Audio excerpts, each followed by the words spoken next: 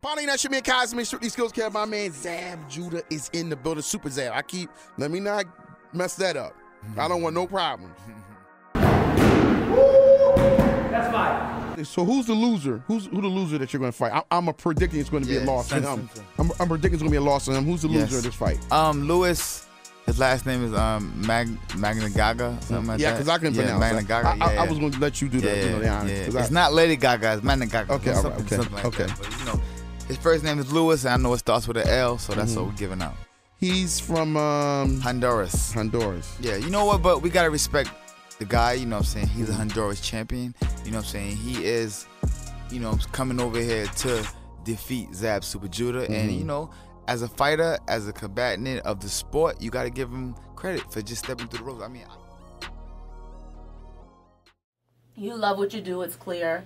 Um, does it hurt your feelings when people are like, oh, you should retire, or why are you still boxing? How do No. you feel about that? No, I mean I think that those are just the people that just you know they don't got a life and they just looking for something The to haters. say. Yeah, you know they hate it, but no, actually they're very motivated to me. You know what I mean? Mm-hmm. I use them for motivation when I'm running, when I'm doing my sit ups, when I'm in the ring sparring. You know what I'm saying? Like um, I put those Instagram followers on you know sparring partner's face. Right. you know what I mean? And I go in there and take it out on them.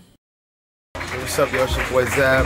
We just wrapped up with the Q show. We had a lot of fun, man. Check out the footage. It's dope. It's going down, man. We on the move. Let's go. Super Judah train. It's rolling. Please welcome Zab Judah to the Q.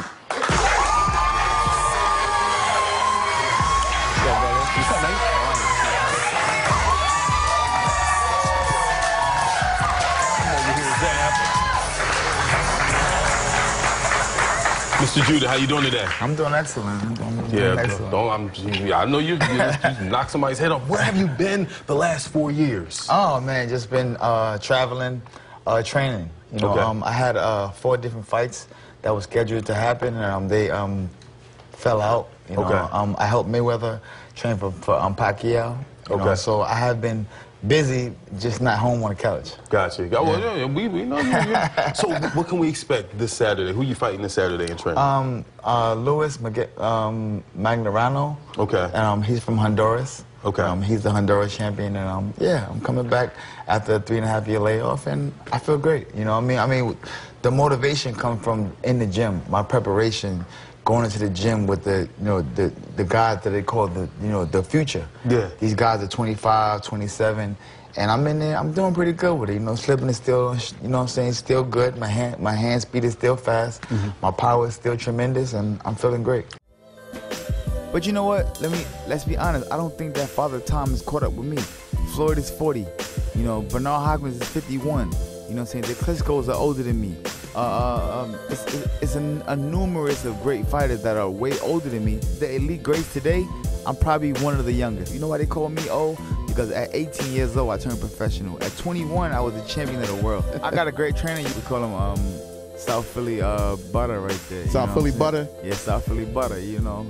And um, he go hard. I mean, he's my trainer right now, you know. And um, you know, most people know him as uh, Brother Fareed, but we call him SPB.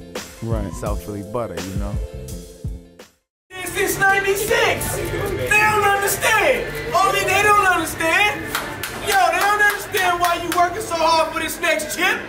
They got something to say about everything else! They don't understand why you working so hard! Show them what we do! Yo, come on, son! Right about now, you're just letting people know you rep, you you're about business. You're looking course. like you're about business. 100%. I see, man. Um, Yeah, yeah, of course, of course. I mean, at 39 years old, I'm still known as a champion. You know what I mean? So people look at Zab. He's still here. You know, and and I had such a, you know, a courageous amateur career. You know, I was 110 wins and five losses.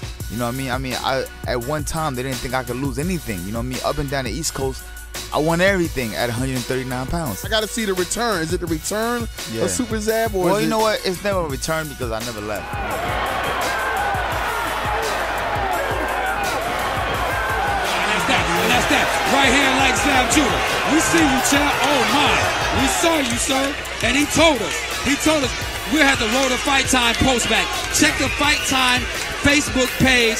Zab Judah told you last night the knockout was coming, and there you have it. Forget the commentary. Why talk about it? Oh, you when you do it. There's nothing to talk about.